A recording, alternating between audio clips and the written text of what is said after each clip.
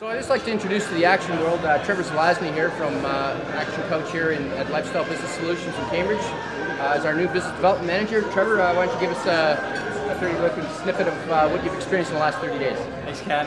Uh, working with ActionCOACH has been great. I mean, I've been learning a lot. Just I love the environment. I love the people. Um, I meet new people every day. It's been great. So I'm looking forward to the following years to come, and it's just it's going to be so much fun. So a lot of fun. Thanks, man. Awesome. Welcome aboard.